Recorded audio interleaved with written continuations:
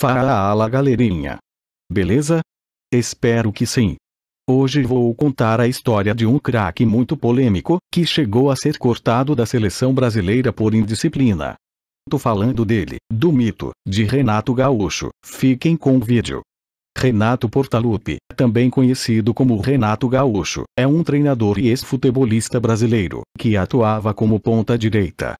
É considerado um dos maiores pontas mundiais dos anos 80 e início dos anos 90, sendo também cunhado pela imprensa como o Rei do Rio, em referência ao seu sucesso atuando por times cariocas, além de ser amplamente considerado o maior jogador da história do Grêmio, tendo sido campeão da América e do mundo pelo tricolor gaúcho.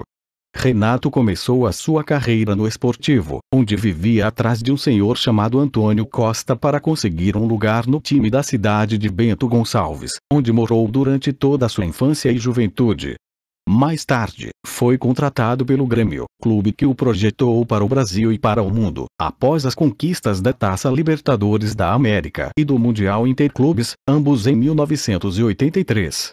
Na decisão do Intercontinental, em Tóquio, Renato fez os dois gols da vitória gremista por 2 a 1 sobre o Hamburgo, da Alemanha. O atacante foi escolhido o melhor jogador da final, recebendo como prêmio um carro Toyota. Depois do Intercontinental, Renato levou o Grêmio ao bicampeonato gaúcho em 1985 e 1986.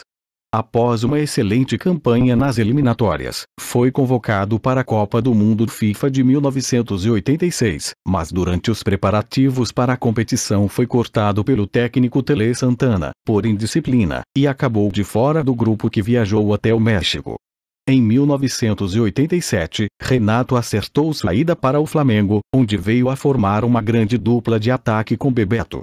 Renato ganhou a simpatia da torcida rubro-negra após marcar contra o Atlético Mineiro, no Mineirão, o gol que garantiu a classificação para a final da Copa União, o Campeonato Brasileiro da Primeira Divisão, contra o Internacional. Renato foi eleito o melhor jogador do Brasileirão de 1987, recebendo a bola de ouro. Trocou o Rio de Janeiro pela Itália em meados de 1988, onde foi jogar pela Roma retornou ao rubro-negro já no ano seguinte. Atuando ao lado de Bobo e Gaúcho, Renato sagrou-se campeão da Copa do Brasil de 1990. Também em 1990 foi convocado para ir à Copa do Mundo da Itália. No entanto, na seleção de Sebastião Lazzaroni, Renato foi reserva de Careca e Miller. Entrou contra a Argentina, nas oitavas de final, mas o Brasil não conseguiu reverter o placar adverso de 1 a 0 e acabou eliminado. Como treinador Renato passou por diversos clubes. Renato iniciou a carreira de treinador no Madureira. Ficou neste clube por dois anos, ganhando experiência na nova função. Renato voltou para o Fluminense em 2002 mas agora como treinador sua passagem não foi muito brilhante. Foi demitido. Em 2005 o Vasco da Gama, clube que Renato nunca chegara a vestir a camisa como jogador, contratou-o como técnico. No Vasco, Renato conseguiu, definitivamente, solidificar sua carreira como treinador. Conseguiu levar sua equipe ao vice-campeonato da Copa do Brasil de 2006 e ao sexto lugar do Brasileirão do mesmo ano, sendo eleito o segundo melhor técnico do Brasil, pela votação da CBF. Depois de não conseguir levar o Vasco às finais do estadual de 2007, foi demitido e acabou regressando ao Fluminense. Na nova passagem pelo tricolor carioca, chegou novamente às finais da Copa do Brasil. Após o empate no primeiro jogo por 1-1, realizado no Maracanã, o Fluminense foi até Santa Catarina e derrotou o Figueirense por 1-0. Com isso, a Copa do Brasil de 2007 tornou-se o primeiro título na carreira de Renato como treinador. Com a conquista da Copa do Brasil, o Fluminense garantiu uma vaga para a Copa Libertadores da América de 2008, a primeira oportunidade de Renato disputar esta competição como treinador. Nessa competição, o Fluminense conseguiu uma classificação contra o São Paulo de Muricy Ramalho, vencendo por 3-1 a equipe paulista e levando o Fluminense a uma inédita semifinal da Libertadores, com um gol do atacante Washington nos acréscimos do segundo tempo, de cabeça em jogada treinada à exaustão pela equipe. Já nas semifinais, o Fluminense eliminou o poderoso Boca Juniors, empate por 2, 2, em La Bombonera, e vitória por 3, 1, no Maracanã, classificando o tricolor para a inédita final, e escrevendo seu nome na história do clube. Na decisão, foi derrotado pela LDU Quito do Equador, no primeiro jogo, em Quito, por 4, 2.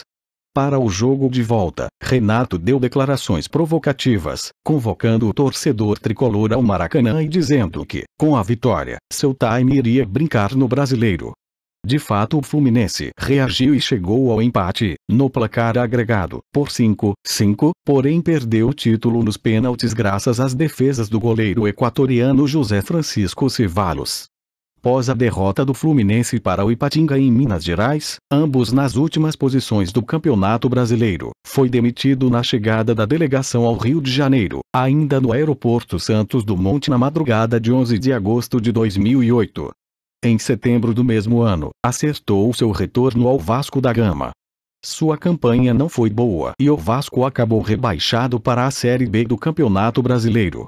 Em 13 de dezembro de 2009, foi anunciado como novo treinador do Bahia para a temporada de 2010. Por lá, estava fazendo uma ótima campanha no Campeonato Brasileiro Série B de 2010, tendo deixado Bahia em sexto lugar. Ficou até 10 de agosto de 2010, quando o Grêmio contratou para suceder Silas. Segundo seu empresário, a diretoria e os jogadores do Bahia ficaram chateados e tristes com a saída, mas agradeceram muito sua participação e se conformaram após dois anos parado. Em 1 de julho de 2013, Renato acertou seu retorno ao Grêmio. Mesmo levando a equipe ao vice-campeonato brasileiro de 2013, não teve o seu contrato renovado. Em 18 de setembro de 2016, acertou seu retorno ao Grêmio, sendo sua terceira passagem pelo clube gaúcho. Em 7 de dezembro de 2016, foi pentacampeão da Copa do Brasil com o Grêmio após vencer o Atlético Mineiro por 3-1 no primeiro jogo, e no segundo empatar em 1-1. Na ocasião, ficou marcado como o treinador que conseguiu dar fim ao jejum de 15 anos sem títulos de expressão nacional do Grêmio. Antes daquela edição da Copa do Brasil, o último título do clube porto-alegrense havia sido o Campeonato Gaúcho de 2010. Renato como técnico teve ótimas estatísticas. No Madureira foram 16 jogos, 5 vitórias, 2 empates e 9 derrotas. No Fluminense foram 202 jogos, 87 vitórias, 52 empates e 63 derrotas. Contando todas as suas passagens, no Vasco foram 138 jogos, 61 vitórias, 39 empates e 38 derrotas. No Bahia foram 40 jogos, 24 vitórias, 8 empates e 8 derrotas. No Atlético Paranaense foram 14 jogos, 4 vitórias, 5 empates e 5 derrotas. No Grêmio, atual técnico, são 122 jogos, 58 vitórias, 36 empates e 28 derrotas. Títulos individuais como jogador Grêmio. Copa Libertadores da América. 1983. Mundial Interclubes. 1983. Campeonato Gaúcho. 1985-1986. Flamengo. Copa União. 1987, Módulo Verde. Taça Guanabara. 1988. Copa do Brasil. 1990. Cruzeiro. Supercopa Libertadores. 1992. Campeonato Mineiro. 1992. Fluminense. Campeonato Carioca. 1995. Seleção Brasileira. Copa América. 1989.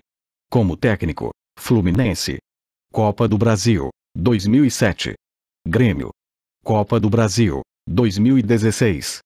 Taça Piratini. 2011. É isso aí galera, espero que tenha gostado do vídeo. Deixe seu salve no comentário. Os 10 primeiros a comentarem ganham seu link na descrição do meu próximo vídeo. Tamo junto não esquece o like, valeu!